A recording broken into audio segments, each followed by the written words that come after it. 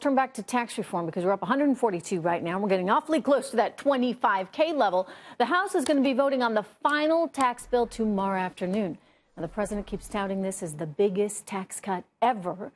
And while it's great for corporations, and there's nothing wrong with that, and it's also great for a lot of fat cat private equity investors, uh, and there's something wrong with that, like this guy, Steve Schwarzman who has made over $400 million in one year. And percentage wise, well, guess what? His tax bracket is actually lower than a New York City cop.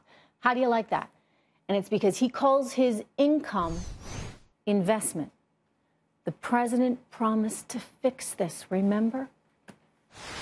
There are reasons the hedge fund managers are all donating to Hillary Clinton's campaign and not to mine. Everybody getting rich off the rig system and who want nothing to change and nothing, they don't want anything to change. They want to keep it the way it is, are throwing their money at Hillary Clinton. We will eliminate the carried interest deduction, well known deduction, and other special interest loopholes that have been so good for Wall Street investors and for people like me.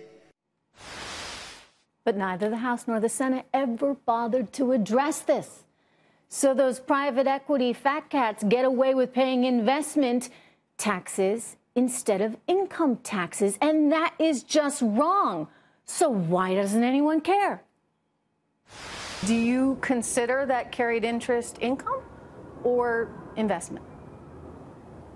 Um, well, again, it, it's it's technically it's it's carried interest uh, in in the way that it's allocated in the tax system, also known as profits interest. So then you believe it should get a lower tax rate.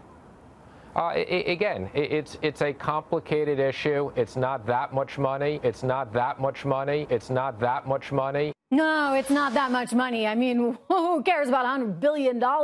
Maybe Steven Mnuchin doesn't care about $100 billion or his billionaire friends, but come on. You mean to tell me that special interest lobbyists are so alive and well in Washington that they convince the entire House and the entire Senate to ignore this inequity? I'm beginning to wonder if our country is becoming ungovernable.